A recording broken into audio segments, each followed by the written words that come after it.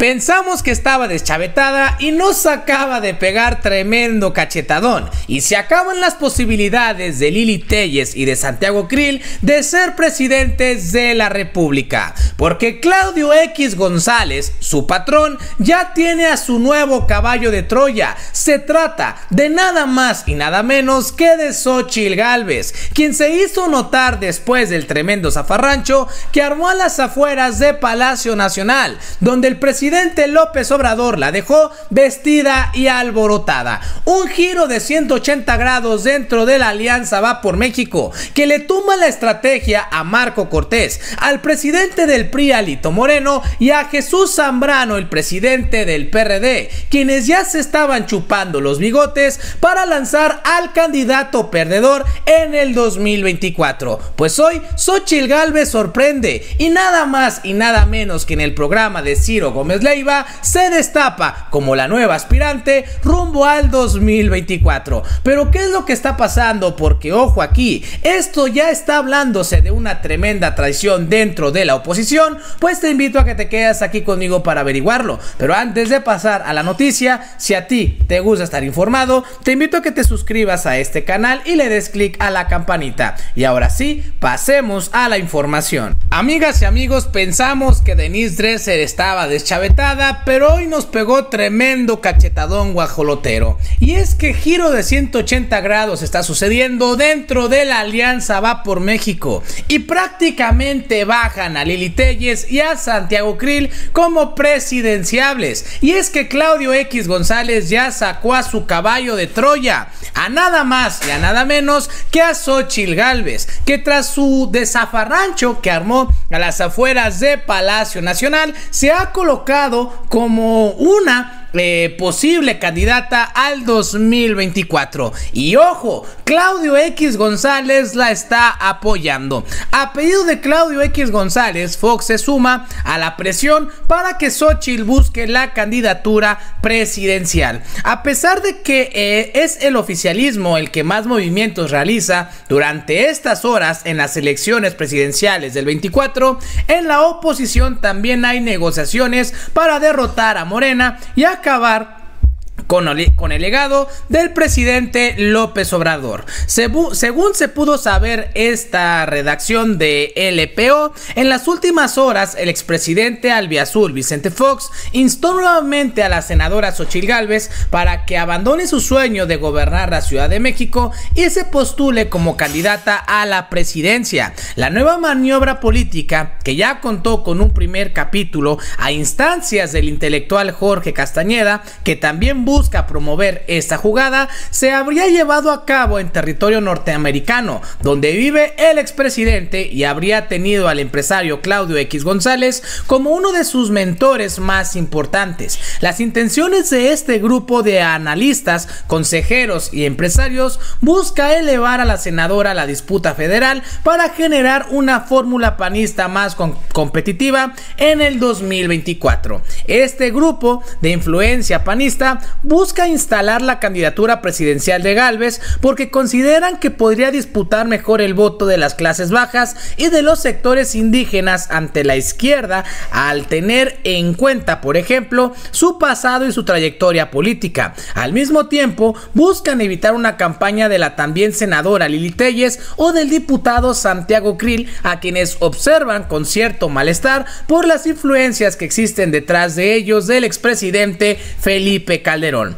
Es posible, el posible lanzamiento de Xochil Gálvez, además, podría generar otros beneficios para el partido panista al tener en cuenta las cuotas de género que se deben respetar en las elecciones, la candidatura de una mujer a nivel federal podría permitir que la Ciudad de México sea disputada por un hombre, en este caso el alcalde de Benito Juárez, Santiago Taboada. De esta manera se respetaría la ley y se eh, presentarían dos perfiles diferentes que podrían concluir, ya que, por ejemplo, la senadora es una mujer menos identificada con las estructuras del partido Y representa una imagen más cercana a la calle. Dos puntos que son más difíciles de vislumbrar en el alcalde. Pues ahí está familia este cambio de dirección de giro en, eh, en la oposición que le cierran, le cerrarían las puertas a, a Lili Telles y a Santiago Krill, quienes eran los que se estaban colocando como los posibles aspirantes por parte del panismo para la presidencia de la República en el 2024. Y esto no es todo, también la postulación de Xochitl Galvez pues acaba con la estrategia que se estaba generando por parte de los presidentes de, la, de los partidos que conforman la Alianza Va por México, de Alito Moreno, Marco Cortés y de Jesús Zambrano. Esta decisión o este destape de Xochitl Galvez también está siendo empezado a dislumbrarse a hacerse viral gracias a los que siempre se han sentido intelectuales y que han pues sido serviles a la, al, al, al, antiguo régimen. Por ejemplo, aquí tenemos a Héctor Aguilar Camín, quien también destapa a Xochil Gálvez como su candidata. Veamos el video. ¿Crees que hay tiro para el 24? Sí, sin duda. Sin duda. De para. Depende de muchas cosas, ¿eh? depende de que la oposición ponga un candidato o una candidata que jale. Pero, ¿quién podría ser? Es que me, me intriga. Pues yo, yo pienso que la, la, la que está, digamos, Xochitl Galvez es la que está activa y viva. Eh, tiene unas enormes ventajas. Es una candidata a la que no le pueden decir fifi. Sí. Ella le puede decir fifi. ¿Crees que hay tiro para el 24? Sí, sin duda.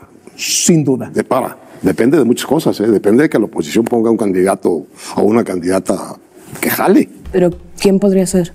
Es que me, me, intriga. Pues ahí está familia cómo destapan a Xochil Galvez y como les decía, pues también en el programa de Ciro Gómez Leiva, pues Xochil ya se destapa eh, que está analizando postularse como candidata a, de la oposición a la silla presidencial. Veamos el video. ¿Estudias la posibilidad de ser candidata a la presidencia? Sí, estoy estudiando esa posibilidad mm. con con ética, con honestidad. Aquí también te dije, no sé qué hacer con el país. A raíz de ese comentario, sí, sí, eh, eh, me empezaron a decir, a ver, te podemos ayudar en esto, esto, esto y esto. Eh, y una cantidad de Yo gente... tengo una lista de personas que me han dicho, oye, además gente que ha tenido cargos o que ha hecho trabajo de investigación, que nos dice, ponme en contacto con Xochitl. Exacto. ¿No? Exacto.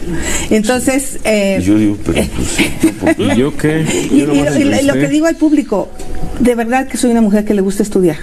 Soy una mujer que le gusta leer, que le gusta entender los problemas. Le entiendo al tema del agua, al tema de energía, le entiendo al tema, bastante al tema de la pobreza, bastante al tema del campo. Y hay otros temas en los que no me he especializado, como es el tema de seguridad pública, que es un tema. Pero me dijeron, oye, pero usted presidente velo.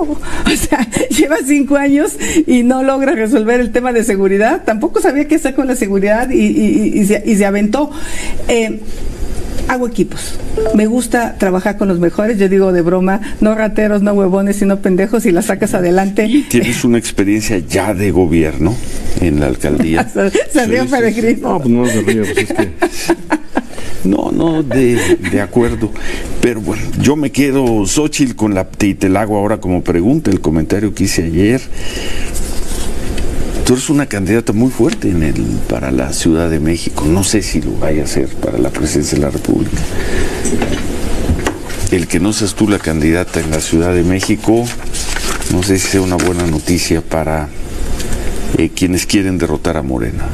No, yo, no yo... sé, con todo respeto, y respeto en verdad a Santiago Taboada, que parece ser el otro precandidato. Sí, yo creo que solo fuerte, hay dos, ¿no? ¿no? Para, ahora, ahora ya para son. la ciudad. Xochitl. Eh, a, y a vas a dejar la ciudad para irte a quién sabe qué aventura. A ver, al día de que hoy. te embosquen por ahí. Quizá tus propios compañeros. Ese es el tema. Sí, no.